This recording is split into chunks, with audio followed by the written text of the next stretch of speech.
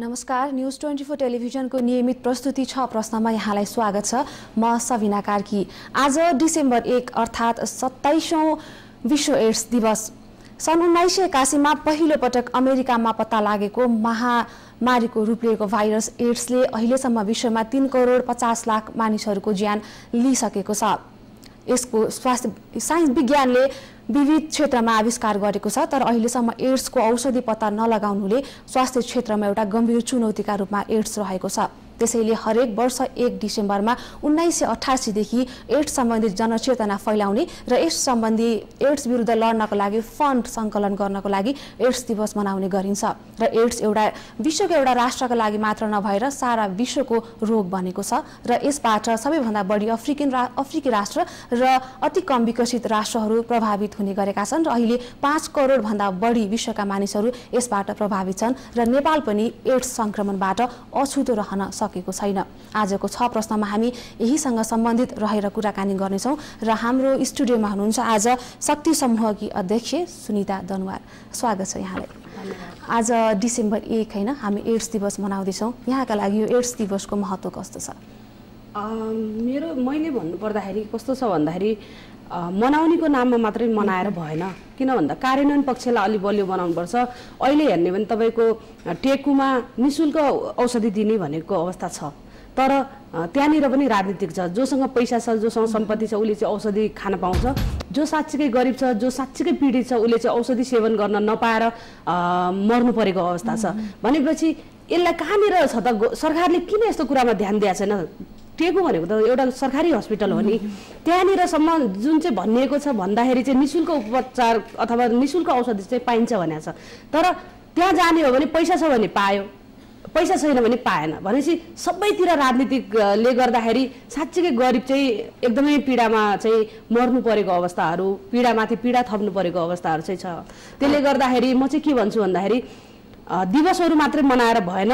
त्यस्तो पीडित व्यक्तिहरू जो चाहिँ गरिब व्यक्तिहरू छ जो चाहिँ साँच्चीकै सङ्क्रमित व्यक्तिहरू छ उनीहरूको लागि चाहिँ निशुल्क औषधि उपचारहरू शिविरहरू चाहिँ सञ्चालन गरिनु पर्यो। गाउँ गाउँमा पुगेर यहाँ काठमाडौँमा चाहिँ नारा जुलुस गरेर केही हुनेवाला छ भनेपछि एक्चुअल सर्भाइभर हुनुहुन्छ एड्सको होइन उहाँहरूले चाहिँ स्वास्थ्य सेवा जुन सरकारबाट पाउनुपर्ने हो त्यो नपाइरहेको र जो अलिकति अब पैसावाल हुनुहुन्छ होइन उहाँहरूले चाहिँ सजिलैसँग पाइरहेको सुरुवातमै यहाँले कुरा उठाउनु भयो भनेपछि यस्तो जो साँच्ची साँच्चीकै सङ्क्रमित हुनुहुन्छ साँच्चीकै पीडित हुनुहुन्छ उहाँहरूलाई चाहिँ यो एड्स दिवसले सम्बोधन गर्न सकेको छैन। एकदमै छैन। जो पैसा छ जो धनीहरू छ उनीहरूलाई चाहिँ पक्कै पनि यसले चाहिँ सम्बोधन गरिरहेको अवस्था छ। जो चाहिँ पीडित छ उसले चाहिँ पाएको अवस्था छैन। म तपाईँलाई एउटा उदाहरण दिन चाहन्छु। मैले किन राजनीति चलिरहेछ यहाँभित्र भन्ने कुरामा चाहिँ प्रत्यक्ष शक्ति समूहले पनि भएको छ। एकजना हाम्रै मेम्बर उहाँ चाहिँ एआरबी खाइराख्नु भएको थियो टेकुबाट। तर पछि गएर उहाँले त्यो औषधि टूमा गयो होइन? लेभल वान लेभल टू हुँदो रहेछ। टूमा चाहिँ उहाँले औषधि पाउन सक्नु भएन उहाँ एकदमै बिरामी अवस्था पर्नुभयो। इभन बेडमै उहाँको अवस्था गयो। अनि त्यति गरेपछि हामीले धेरै कोसिस गऱ्यौँ सकेनौँ। त्यो औषधि आएकै छैन भन्ने कुरा भयो। अनि त्यो भइसकेपछि चाहिँ हामीले एकजना अमेरिकामा हुनुहुन्थ्यो उहाँसँग हाम्रो चिन्जान थियो। अनि हामीले चाहिँ एउटा मेम्बर यस्तो यस्तो अवस्थामा परेको छ। उसलाई चाहिँ गाह्रो भयो किनभने सेकेन्ड लाइनको औषधि छैन भन्ने कुरा भइसक्यो यहाँ। भनेपछि उसले किन नहुने ठिक छ त्यसो हो भने म यहाँबाट पठाइदिन्छु र तिमीहरूको मेम्बरलाई लिएर त्यो ल्याएर खुवाऊ भनेर भन्यो। उसले फेरि सिधै डक्टरसँग कन्ट्याक्ट गरेर टेकुमा पठाइदियो। जब त्यो औषधि त्यहाँ आयो त्यस पछाडि राजनीतिक सुरु भयो हेर्नुहोस् है। यति नारा जुलुस गरियो कि यदि पाउने हो भने सबैले पाउनु पर्यो होइन भने उसले मात्र किन पाउने भनेर पुरा नारा जुलुस भएर उसले औषधि पनि त्यो अरूले पठाएको औषधि पनि खान नपाउने अवस्था हेर्नुहोस् है यस्तो स्थिति छ हाम्रो देशमा। भनेपछि जुन सुन्दै आएको थियो जुन स्वास्थ्य कर्मीहरूले पनि जुन एड्स सङ्क्रमितहरूप्रति विभेद हुन्छ होइन सरकारी तहबाट आउने सेवा सुविधामा पनि विभेद छ भने जुन हामीले सुनिरहेका थियौँ यो साँचो हो। एकदमै। इभन म तपाईँलाई के भन्न चाहन्छु भने म धेरै अनुभवी छु यो उसमा। डक्टरले कस्तो व्यवहार गर्छन् नर्सले कस्तो गर्छन् होइन? जबकि हामी एउटा चाहिँ सर्भाइभर भनेर जब हामी एचआइभी टेस्ट गर्न जाँदाखेरि त हामीलाई नर्सले डक्टरले छुन नमानेको अवस्था थियो।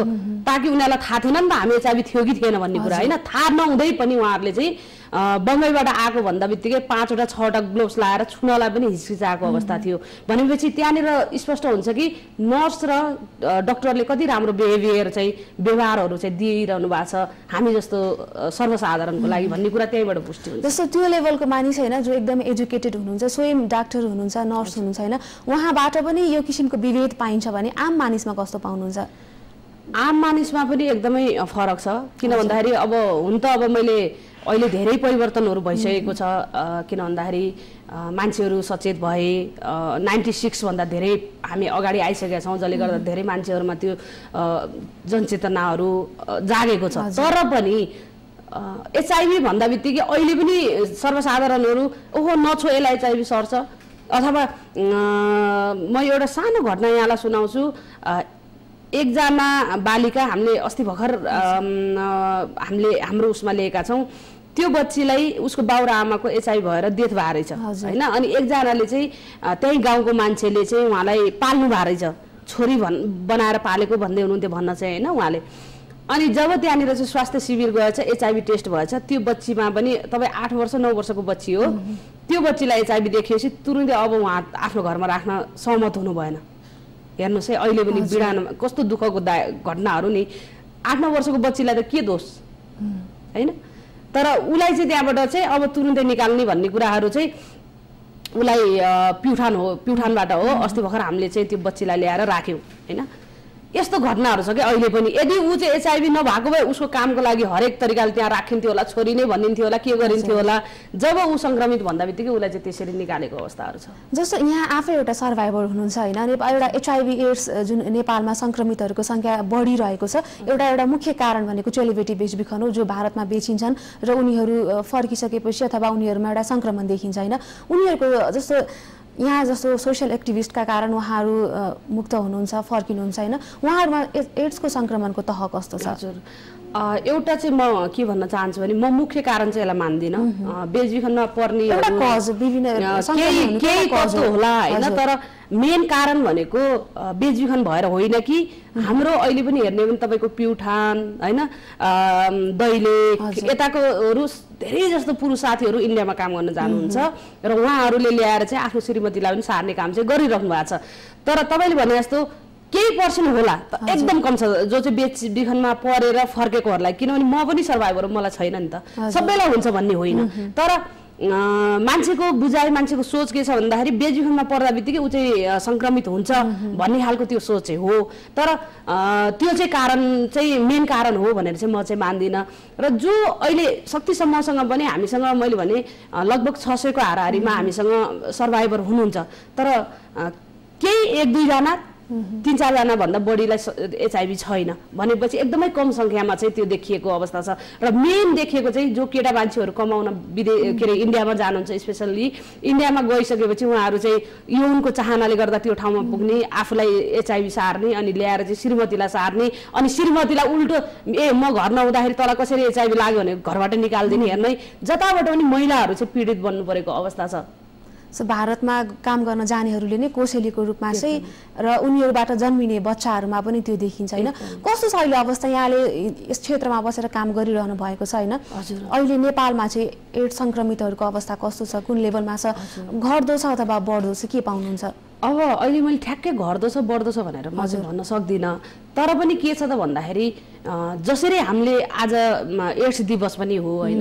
जसरी हामीले चाहिँ काठमाडौँ केन्द्रित भएर चाहिँ हामीले जुलुसहरू होइन के अरे र्यालीहरू निकाल्छौँ त्यसको सट्टा बरु म के भन्न चाहन्छु भने जुन साँच्चीकै पीडामा बसेका जो चाहिँ साँच्चीकै सङ्क्रमित भनेको गाउँ गाउँमा छन् त्यसले गर्दाखेरि गाउँ गाउँमा स्वास्थ्य शिविरहरू लानु पर्यो सरकारले नि शुल्क औषधिहरूको व्यवस्था गर्नु पर्यो जो चाहिँ साँच्चीकै सङ्क्रमित छ उनीहरूको लागि चाहिँ एउटा केही सहयोग सुविधाहरू चाहिँ दिनु पर्यो। अनि मात्र यो समस्याहरू घट्छ। त्यो सँगसँगै अर्को के- पनि गर्नु पर्यो भने जनचेतना जगाउने भनेको गाउँ गाउँमा हो। किनभने कति मान्छेहरू लेखे पढाएको हुँदैन कति मान्छेहरूलाई चाहिँ यो के हो एचआइभी के हो भन्ने नै पनि थाहा नहुन सक्छ होइन? त्यो अवस्थामा गएर चाहिँ गाउँ गाउँमा हामीले जनचेतनाहरू जगायौँ भने चाहिँ यो कम हुँदै जान्छ होइन? नभए चाहिँ हामी यहाँ काठमाडौँमा बसेर जो चाहिँ टिभी भएको पहुँच भएकोहरूले मात्रै हेर्न पाउने हो।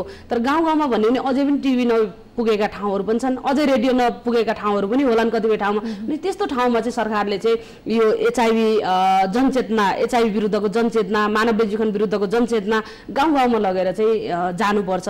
र कस्तो अवस्था छ भन्दाखेरि जस्तो अहिले अघि पनि मैले भने दुईवटा खालको विभेदीकरण छ क्या? यो एचआइभीमा पनि। जस्तो जोसँग पैसा छ उसले सहज तरिकाले घरमा बसी बसी फोनको भरमा चाहिँ औषधि खान पाउने अवस्था छ। जो चाहिँ साँच्चीकै पीडित हो जोसँग पैसा छैन जोसँग सम्पत्ति छैन ऊ चाहिँ त्यहीँ हस्पिटलको बेडमा घ्रिक घ्रि गरेर सास गएको कुराहरू पनि छ होइन? त्यसले गर्दाखेरि यो आखिर एचआइभी भनेको एचआइभी हो। होइन? यो भनेको एउटा एचआइभी हो। एचआइभीकै रूपमा हेरेर जुनसुकै एचआइभी सङ्क्रमित भयो भने एउटै खालको चाहिँ बिहेभियर अथवा एउटै खालको सुविधा चाहिँ राज्यबाट चाहिँ दियो भने पक्कै पनि भएकोहरूले पनि सुविधा पाउँथे कि भन्ने चाहिँ मलाई लाग्छ। यहाँले पनि एउटा एनजिओ चलाइरहनु भएको छ होइन? र यहाँहरूले केही पहल गर्नु भएको छ? जस्तो गाउँतिर गएर जनचेतना फैलाउने होइन? बढी मात्रामा त गाउँका मानिसहरू नै यसबाट पीडित छन् होइन? हरेक हिसाबले। र केही पहल गर्नुभएको छ यहाँहरूले? हामीले चाहिँ एघारवटा जिल्लामा काम गरिरहेको छौँ शक्ति समूहले र जसमा चाहिँ हामीले एचआइभी नै भनेर हामी चाहिँ गर्दैनौँ। किन भन्दाखेरि हाम्रो चाहिँ स्पेसल मानव बेजुखन विरुद्धमै हामीले काम गर्छौँ। किनभने हामी आफै नै प्रभावितहरू भएको भएर प्रभावितको अधिकार सुनिश्चित गर्नलाई हामी लडिरहेछौँ र त्यसको अर्थ फेरि एचआइभीमै कुरै नगर्ने होइन। हामीसँग एडल्सेन्स ग्रुपहरू छ। र त्यो ग्रुपहरूलाई चाहिँ हामीले विभिन्न खालको तालिमहरू दिँदाखेरि एचआइभीको तालिम पनि हामीसँग पर्छ। ओरिएन्टेसनहरू पर्छ। उनीहरूले मिटिङमा मासिक रूपमा मिटिङ हुन्छ। त्यो मिटिङमा पनि उनीहरूले चाहिँ विभिन्न विषय जस्तो एचआइभीका कुरा हुनसक्छ मानव बेजुखनका कुरा हुनसक्छ त्यसै गरी यो बाल अधिकारका कुराहरूलाई विभिन्न कुराहरूमा चाहिँ उनीहरूले छलफल गर्ने बहस गर्ने त्यो चाहिँ जस्तो मैले भन्न खोजेको जस्तो जुन संस्थाहरू हुन्छन् जुन सरकारी निकायहरू हुन्छन् जसले चाहिँ एड्समा नै केन्द्रित रहेर काम गर्छन् होइन? उहाँहरूलाई यहाँहरूको तर्फबाट केही सुझाव हुन्छ नि यो क्षेत्रमा गएर चाहिँ यहाँले यो गर्नुहोस् भन्ने केही पहल गर्नु भएको छ? त्यसमा चाहिँ हामीले के गरेका छ भन्दा जो एचआइभी नै सङ्क्रमित दिदीबहिनीहरूको हामीले छुट्टै सिस्टर अर्गनाइजेसनको रूपमा चाहिँ हामीले गठन गरिदिएका छौँ। उहाँहरू अहिले काठमाडौँमै केन्द्रित भएर चाहिँ काम गरिराख्नु भएको छ। होस्टेल पनि छ उहाँहरूको जो चाहिँ महिला बालिकाहरूको लागि स्पेसल अझ महिलाको लागि चाहिँ उहाँहरूले होस्टेल पनि सञ्चालन गर्नुभएको छ। र हामीले पनि उहाँहरूलाई चाहिँ अब उहाँहरू काठमाडौँ केन्द्रित भएको भएर काठमाडौँमा भन्दा पनि बाहिर अलिकति तपाईँहरूको पहुँचहरू बढाउनु पर्यो भन्ने कुराहरू चाहिँ भएको छ। तर के छ त भन्दाखेरि यसमै पनि पैसाको कुराहरू आउँछ क्या जस्तो रिसोर्सको कुराहरू आउँछ होइन?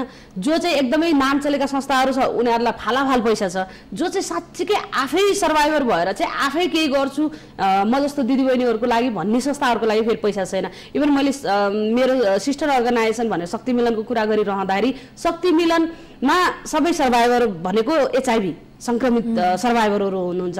तर उहाँहरूको लागि पैसा अहिले हेर्ने हो भने अफिसको ढोका खोल्न पनि धौधौ परेको अवस्था छ। र साँच्चीकै त्यही ठाउँमा अरू संस्थाहरू हेर्ने हो भने यति धेरै पैसा छ कि उहाँहरूले त्यो पैसा बढी भएर मिसयुज गरेका घटनाहरू पनि कति हामी बिचमा आइरहेको अवस्था छ। भनेपछि जसले साँच्चीकै गर्छु भन्नेलाई चाहिँ ह्युमन रिसोर्सका कुराहरू अथवा अन्य स्रोतका कुराहरूले गर्दाखेरि पनि उहाँहरूलाई चाहिँ एउटा खुम्चाउन खुम्चिएर बस्नुपर्ने बाध्यता रहेको छ। र यो कुरामा चाहिँ हाम्रो सरकार फेरि हेर्दैन। हाम्रो सरकार आफै आँखा चिम्लेर बसेको अवस्था छ।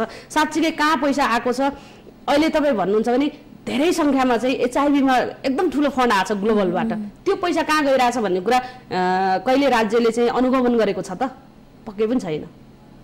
र त्यो पैसा साँच्चीकै जो सङ्क्रमितले पाउनुपर्ने हो त्यहाँ पुगेको छ कि छैन भनेर कुनै दिन राज्यले अनुगमन गरेको अवस्था छैन। जसले गर्दाखेरि जे गरे पनि हुन्छ। यो देशमा जसले जे मन लाग्छ त्यो गर्दा हुन्छ कि? जस्तो एड्स अब एउटा विश्वको महामारीको रूपमा फैलिरहेको छ होइन? धनी राष्ट्र अथवा जुनसुकै राष्ट्र हुने एउटा चुनौती छ। स्वास्थ्य क्षेत्रको लागि पनि सारा विश्वको लागि पनि एउटा चुनौतीको विषय भइरहेको बेलामा चाहिँ नेपालमा सरकारी स्तरबाट पनि यसको नियन्त्रण गर्न चाहिँ कुनै प्रभावकारी कदमहरू देखिँदैनन्। एकदमै। अब एकैछिन हामी फेरि जुन एड्स जुन भिक्टिमहरू हुनुहुन्छ होइन उहाँहरूले समाजमा एडजस्टमेन्ट गर्नको लागि कतिको गाह्रो छ। यहाँले केही हदसम्म त कुरा गर्नुभयो होइन कति कस्तो देख्नुहुन्छ होइन जस्तो अब एउटा एजुकेटेड समाजमा पनि उहाँहरूले सर्भाइभ गर्न कतिको गाह्रो छ? अहिले अहिले यो जुन एचआइभी सङ्क्रमितहरूमा नि म विशेष गरी महिलाहरूको कुरा गर्छु किन भन्दाखेरि महिलाहरूसँग म रिलेटेड भएको भएर शक्ति मिलर पनि महिलाहरूकै हो। त्यसले गर्दाखेरि कस्तो विभेदीकरण छ भने नि जस्तो बेचबिखनमा परेर फर्केको दिदी बहिनीहरूलाई एचआइभी छ भने चाहिँ अर्को जो चाहिँ ड्रग्सबाट भएको तपाईँको श्रीमानबाट सरेको उहाँहरूले के भन्नुहुन्छ सिधै भने म त बेचेको होइन म चाहिँ दसजनासँग सुते होइन मलाई त श्रीमानले सारेको उहाँहरूको सान हेर्नु है कति उच्च छ। प्राउड फिल गर्नु एकदमै म त श्रीमानबाट भएको म त ड्रग्स गर्दा खाँदाखेरि भएको मलाई त यस्तो भएन। जो साँच्चीकै जो बेजीखनमा परेर फर्किएको उहाँहरूलाई एचआइभी छ त्यहाँभित्र पनि डोमिनेट छ के? अनि उहाँहरूलाई कस्तो हुन्छ भने ए हो है म त यसरी मलाई आखिर एचआइभी भनेको त एचआइभी हो नि त मैले अघि पनि भनेको थिएँ एचआइभी भनेको एचआइभी हो। त्यो जो कोहीलाई पनि हुनसक्छ र त्यो भनेको एउटै रूपमा लिनुपर्छ। तर त्यहाँभित्र पनि विभेदीकरण क्या जस्तो त भनेको यस्तो भएर तँलाई लाग्यो हो म भनेको यस्तो हो। त्यहाँभित्र पनि हेर्नु न अब कति ऱ्याङ्की छ कि। जो आफै एड्स पीडितहरू बिचमा नै विभेद देखिन्छ। विभेदीकरण छ। जसले गर्दा बाहिरी समाजबाट त त्यो छुट्टै हुने भइहालेन। हजुर। जस्तो अब तपाईँहरूले जुन बेचिएका चेलीहरू फर्काउनुहुन्छ होइन र उहाँहरू अथवा एड एड्स सर्भाइभर हुनुहोस् हुनुभएको हुन्छ अथवा नभएको जे होस् होइन उहाँहरूलाई चाहिँ उहाँको फ्यामिलीमा पुनस्थाप कसरी काम गरिरहनु भएको छ? धेरै कति सङ्ख्यामा चाहिँ उहाँहरूको फ्यामिलीले एक्सेप्ट गरेको अवस्था छ? अब एकदमै भन्नुपर्दा सर्भाइभर भन्दा बित्तिकै चाहिँ एक्सेप्ट हुन गाह्रै छ हेर्नु। अहिले होइन? तर पनि शक्तिसम्मको आफ्नै अनुभव भएको हो र हामीले दुईवटा कुरालाई फोकस गर्छौँ। एउटा चाहिँ पहिलो चाहिँ उसलाई काउन्सिलिङकै मनोवि विमर्श नै हामीले सेवा उपलब्ध गराउँछौँ। अनि दोस्रोमा चाहिँ उसलाई चाहिँ आफ्नो खुट्टामा कसरी उभिन सक्छ ऊ? किन भन्दाखेरि जोसँग पैसा छ उसलाई आमा बुवाले पनि स्वीकारेको अवस्था छ समाजले पनि स्वीकारेको अवस्था छ साथीभाइले पनि स्वीकार्छ होइन जोसँग पैसा छैन र उसलाई कसैले पुस्नेवाला छैन। त्यो भएको भएर शक्तिसम्मले नै के जोड दिन्छ भने पहिलो भनेको मनोविमर्श दोस्रो भनेको आर्थिक रूपमा चाहिँ ऊ आफ्नो खुट्टामा कसरी उभिन सक्छ अनि तेस्रोमा चाहिँ हामीले उसलाई एजुकेसन सपोर्ट गर्छौँ। किन भन्दाखेरि कतिपय दिदीबहिनीहरू चाहिँ तपाईँको बेचबिखनमा पर्दाखेरि आठ नौ वर्षको बढीमा चौध वर्षसम्मको चाहिँ बढी बेचबिखनमा पर्छन्। अनि उनीहरू फर्केर आउँदाखेरि रेस्क्यु भएर यहाँ आउन्जेलसम्म उनीहरू सत्र सोह्र पन्ध्र वर्षको उमेरमा उनीहरू आउँछ भनेपछि उनीहरू के फिल गर्छ भने म नपढेको कारणले म यो ठाउँमा पुगेँ भने म पढ्न चाहन्छु भन्नेलाई चाहिँ हामीले त्यही अनुसारले चाहिँ उनीहरूलाई सहयोग गर्छौँ। र त्यो सँगसँगै हामीले धेरै जस्तो अहिले हामीसँग त्रिसठीजना हाम्रो स्टाफहरू हुनुहुन्छ। त्रिसठीमा चाहिँ हामीले अस्सी प्रतिशत चाहिँ हामीसँग सर्भाइभरै स्टाफ हुनुहुन्छ। चाहे त्यो केन्द्रीय कार्यालयमा होस् चाहे होस्टेलमा होस् चाहे जिल्लामा होस्। किन भन्दाखेरि उहाँहरूकै इम्पावरमेन्टको कुराहरू गर्छौँ र त्यो सँगसँगै हामीसँग एचआइभी जो सङ्क्रमित हुनुहुन्छ उहाँहरूले पनि मजाले काम गर्नुभएको छ। उहाँहरूको आर्थिक रूपमा जब बलियो हुन्छ सबैले स्वीकार्छ भन्ने हिसाबमा चाहिँ हामीले त्यसलाई चाहिँ प्राथमिकतामा राखेर उहाँहरूलाई चाहिँ त्यसरी मेन्टालिटी चाहिँ कस्तो छ भन्नाले सर्भाइभर भइसकेपछि उहाँहरू सामान्य मान्छे जसरी बस्नुहुन्छ तब हो मलाई त एड्स छ भनेर कति हिन्ता बोध त्यस्तो केही देखिन्छ? एउटा चाहिँ के छ भन्दा यो बेचबिखनमा पर्दा बित्तिकै मान्छे चाहिँ पहिलो जन्म उसले गुमाएको हुन्छ। होइन? मेरै उदाहरण गर्नु पर्दाखेरि म के भन्छु भने मैले दोस्रो जन्म पाएको जब म नेपाल आएँ। होइन? पहिलो जन्म मेरो चाहिँ सकिसकेको अवस्था थियो। भनेपछि टाइम लाग्छ हेर्नुहोस् है। अब सत्र अठार वर्ष भयो म यो सेक्टरमा निरन्तर लागेको। भनेपछि अहिले अहिले तपाईँहरूले चिन्नुभयो सुन्ता दनवार भनेको को हो भनेर। होइन त्योभन्दा अगाडि त तपाईँहरूले नाम पनि सुनेको थिएन होला। भन्नुको अर्थ के भन्दा एकैचोटि म चाहिँ यसरी खुल्छु भन्ने अवस्था पनि छैन र त्यो हाम्रो समाजले दिएको पनि छैन। होइन आफ्नो त्यसरी चाहिँ आफूले बिस्तारै आफैलाई चाहिँ हरेक कुराहरू हुन्छ। स्टिमाका कुराहरू हुन्छ उसलाई गिल्टी फिलका कुराहरू हुन्छ। म यो ठाउँमा पुगेँ म यसरी बेजुखनमा परेँ भनेर एक खालको पीडा हुन्छ। र त्यो माथि झन् एचआई भयो भने अब चाहिँ मलाई झन् गाह्रो। अब त म त मरि नै हाल्छु क्यारे बाँच्दिनँ क्यारे भन्ने खालको धेरै खालको पीडाहरू हुन्छ। त्यसलाई हिल गराउँदै गराउँदै गराउँदै अगाडि बढ्नलाई टाइम लाग्छ। हामी के खोज्छ डोनरहरूले के खोज्छ भने छ महिना राखेपछि आउटपुट खोज्छ के सिधै। तर त्यो छ महिनामा त हुँदैन नि। लगभग पन्ध्र सोह्र वर्ष लाग्छ होइन। त्यो हिसाबले गर्दाखेरि हाम्रो कल्चर अथवा हाम्रो डोनरको परिपाटी के छ भन्दाखेरि आज सपोर्ट गरेको छ भने भोलि त्यसको चाहिँ रिजल्ट रिजल्ट चाहिहाल्छ होइन। त्यो नभएर चाहिँ साँच्चीकै हामीले सर्भाइभर अथवा एचआइभी सर्भाइभरहरू अथवा ट्राफिकिङ सर्भाइभरहरूलाई सपोर्ट गर्ने भने लामो समय लाग्छ तर पक्कै सफलता चाहिँ। नेपालमा त्यस्तो फेरि काउन्सिलिङ गर्ने त्यति राम्रो प्रभावकारी निकायहरू पनि छैन जस्तो लाग्यो जस्तो एड्स सङ्क्रमितहरूलाई अलिकति मोटिभेट गराउन एकदम एकदम। तपाईँको अब अहिले अहिले चाहिँ खुलिरहेको अवस्था छ। जस्तो अब टेकुमै पनि दुइटै छ कि अब काउन्सिलिङको नाममा काउन्सिलिङ कुन तरिकाको काउन्सिलिङ गर्ने भन्ने कुराहरू हुन्छ होइन? यहाँनिर के छ भने तपाईँ र म बसेर छलफल गऱ्यो भने पनि त्यसलाई काउन्सिलिङ भन्छन्। तर त्यो होइन होइन। साइको सोसल काउन्सिलिङ भनेको उसको भित्रैदेखि गएर उसको कुराहरूलाई बाहिर पो निकाल्नु। र उसलाई चाहिँ पहिलाको अवस्थाबाट एक स्टेप माथि पुऱ्याउनु चाहिँ त्यो साइको सोसल काउन्सिलिङको पार्ट हुन्छ। तर हामी कहिले काहीँ चाहिँ बसेर छलफल गरेको नि यो काउन्सिलिङ भनेर सर्भाइभरहरूले चाहिँ कतिको खुलेर आइरहेको अवस्था छ। म एड्स सर्भाइभर हो होइन। मलाई काउन्सिलिङ चाहिन्छ। म लाइफमा अगाडि बढ्न चाहन्छु भनेर खुलेर आउने अवस्था छ अहिले। त्यो खोल्ने वातावरणै छैन पहिलो कुरा चाहिँ होइन? म सर्भाइभर हो म चाहिँ एचआइभी सङ्क्रमित हो भनेर खुलेर अगाडि आउने वातावरणै हामीले सिर्जना गर्न सकेको अवस्था छैन। इभन अहिले हेर्ने हो भने अब शक्तिसम्म भनेपछि जो ट्राफिकिङ सर्भाइभरहरू उहाँहरू खोज्दै आउने अवस्था भएको छ। किन भन्दाखेरि यो भनेको सर्भाइभरले सर्भाइभरकै लागि काम गरे हो भन्ने हिसाबमा उहाँहरूले विश्वास गरेर चाहिँ आउनुहुन्छ होइन? त्यस्तै गरी एचआइभीको सेक्टरमा पनि त्यो विश्वास त दिलाउनु पऱ्यो नि त। होइन चाहे सङ्घ संस्था होस् चाहे सरकारी निकायबाट होस् विश्वास दिलायो भने भोलिको दिनमा पक्कै पनि उहाँहरू आउनुहुन्छ उहाँहरूको गोपनीयताका कुराहरू हुनुपर्छ। जस्तो कतिपय ठाउँमा के हुन्छ नि हामीले चाहिँ के भन्छौँ भने गोपनीयताको कदर गर्नुपर्छ भन्छौँ होइन। तर एकछिन भेट्यो ए यो सर्भाइभर अनि उतापट्टि गएर के भन्छ नि एचआइभी सङ्क्रमित हो नि यो चाहिँ। अब हामीले चिनाइदिन्छौँ क्या आफैले। अनि त्यो विश्व त्यसले गर्दाखेरि पनि उनीहरूले विश्वास नगर्ने तुरुन्तै आइहाल्ने अवस्था चाहिँ जस्तो हामी एकदम अन्त्यमा आइपुगेका छौँ एउटा प्रश्न यहाँलाई होइन केही समय दुई वर्ष तिन वर्ष अगाडिसम्म एउटा एड्सको एकदमै जताततै चर्चा सुनिन्थ्यो कार्यक्रमहरू हुन्थ्यो होइन। अहिले चाहिँ त्यो नभइरहेको अवस्था सर एउटा के आरोप छ भने एनजिओ आइएनजिओ जसले सञ्चालन गर्नुहुन्छ यहाँले पनि एउटा एनजिओ सञ्चालन गर्नुहुन्छ इन्टरनेसनल फन्ड हुन्छ त्यो चाहिँ अहिले क्लाइमेट चेन्जतर्फ ट्रान्सफर भएको छ होइन।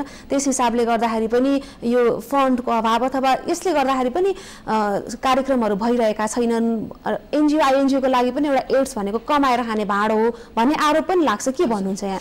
म के भन्छु भन्दाखेरि जस्तो हामीलाई पनि भन्ने गरेका हुन्छन् किनभने मानवीय जीवनमा पनि धेरै पैसा आएको छ यताउति भन्छन्। तर मैले अघि पनि भने नि पहुँच कसको कहाँनिर छ त्यसमा भर पर्छ एउटा होइन? एउटा माथि बसेको संस्थाको पहुँच कहाँ कहाँ छ र तल ग्रासरुट लेभलमा बसेर काम गर्ने संस्थाको पहुँच कहाँ छ? त्यहाँनिर हेर्नुपर्छ। सबै सङ्घ संस्थाहरूलाई एउटै भाँडामा हालेर चाहिँ हेरिनु भएन। त्यही भएर मैले जहाँ पनि जसरी पनि मैले कुराहरू गर्दाखेरि गभर्मेन्टले चाहिँ मोनिटरिङ यसलाई चाहिँ जोड दिनु पर्यो होइन? नभएको होइन। अहिले मैले अघि पनि भने जस्तो ग्लोबलको ग्लोबल फन्डको पैसाहरू आएको छ तर त्यो कहाँ गएको छ भन्ने कुरा राज्यले खोज्नु पऱ्यो एउटा। अनि पहिला चाहिँ धेरै आउँथ्यो अहिले आउँदैन भन्ने कुराहरूमा चाहिँ कस्तो पनि देख्छु भन्दाखेरि यो मार्केटिङको जता जता मार्केट जुन इस्युमा बढिरहेको छ नि त्यो मार्केटतिर हामी चाहिँ बहकेका छौँ कि। आफ्नो अडान लिएर काम गर्नु पऱ्यो नि। एचआइबीको सेक्टरमा काम गर्नेले एचआइबी नै आफ्नो थिमलाई छोड्नु भएन। ट्राफिकिङको सेक्टरमा काम गर्नेले मेरो एन्टी ट्राफिकिङ हो भनेर त्यसलाई छोड्नु भएन नि। तर आज माइग्रेसन भयो। HIV HIV गोलीमार। माइग्रेसनमा दौडेको छ। भोलि ट्राफिकिङमा आयो माइग्रेसन छोडो फेरि ट्राफिकिङमा।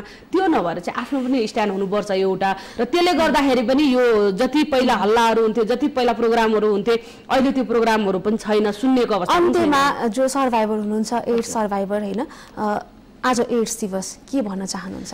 म उहाँहरूलाई के भन्न चाहन्छु भन्दाखेरि आफ्नो अधिकार आफैले खोज्ने हो कसैले ल्याएर दिनेवाला छैन। त्यो भएको भएर आफ्नो अधिकार खोज्नुहोस्। र मैले गर्नुपर्ने केही सहयोगहरू छ भने म गर्न सक्छु। म चाहिँ एउटा गभर्मेन्टको बडीमा पनि छु। अहिले जुन मानव बेजुखन विरुद्धको राष्ट्रिय समितिमा पनि म आफू मेम्बर भएको हुनाले यहाँहरूलाई गर्नुपर्ने सपोर्ट मेरो तर्फबाट म गर्छु। र अर्को म के भन्छु भने मलाई एचआइभी भयो भनेर पीडा लिएर बस्ने होइन कि आफ्नो पीडालाई शक्तिमा परिणत गरेर मैले केही गर्छु म पनि मानव हो। र त्यो भनेको एक किसिमले चाहिँ सामान्य तरिकाले लियो भने पक्कै पनि उहाँहरूले धेरै काम गर्न सक्नुहुन्छ र त्यसको लागि चाहिँ म आग्रह गर्न चाहन्छु। धन्यवाद यहाँले हामीलाई समय उपलब्ध गराइदिनु भयो। धेरै धेरै धन्यवाद। यहाँलाई पनि धेरै धेरै धन्यवाद। मेरो अनुभवहरू राख्ने मौका दिनुभयो। दर्शकहरू आज एड्स दिवसको अवसरमा हामीले शक्ति समूहकी अध्यक्ष सुनिता दनवारसँग कुराकानी गऱ्यौँ।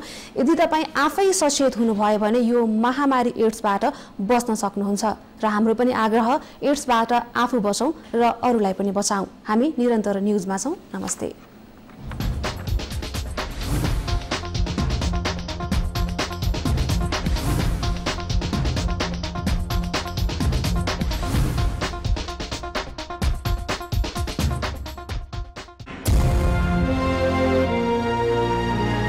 This is Nepal Broadcasting Channel.